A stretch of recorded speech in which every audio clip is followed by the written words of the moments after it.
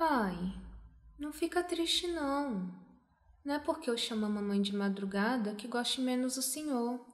Sério. Eu não tô entendendo bem isso.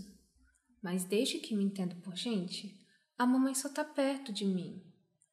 Eu sei que o senhor trabalha muito para manter a casa. Para de bobagem, pai.